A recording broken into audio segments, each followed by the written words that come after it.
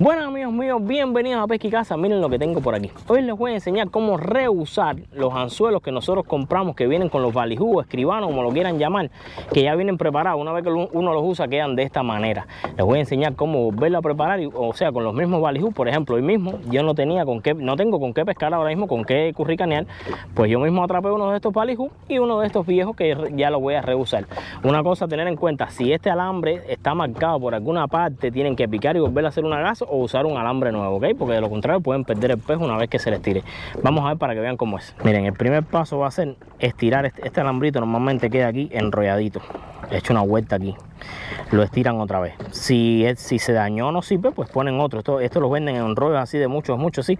En las marinas por ahí pueden tener. Yo tengo un rollo que tiene bastante. No obstante, este que estoy usando es el mismo que tenía.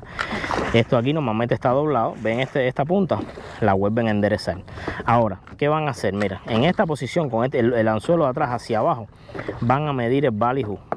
Ok, esta de aquí, este pincho de aquí tiene que venir y atravesar la boca del ballyhoo por abajo hacia arriba ok o sea que poniéndolo en esa posición de forma tal que lo puedan hacer así van a medir esto es lo siguiente. Miren bueno pues poniéndolo en esta posición con el segundo anzuelo hacia abajo van a medir de forma tal que el pincho les entre aquí y van a marcar el balijú por aquí y por aquí van a abrir dos huecos ok vamos a marcar el primer hueco aquí.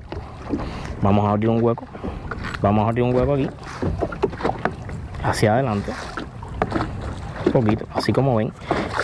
Y el otro amor que se me olvidó dónde era y ahí tenemos el primero. Y ahora aquí va a estar el segundo mío ok eso va a variar eh, pues sobre todo por el tamaño del valijo en este caso es uno un poco chiquito.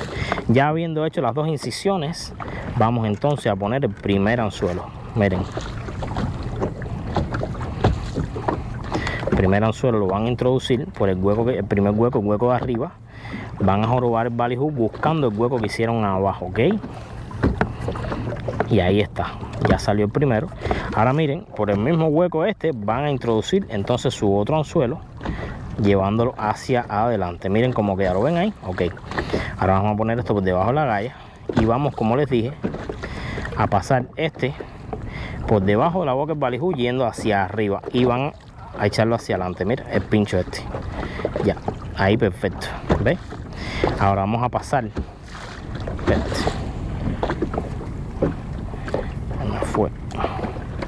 ok vamos a ok perfecto. Mírenlo ahí.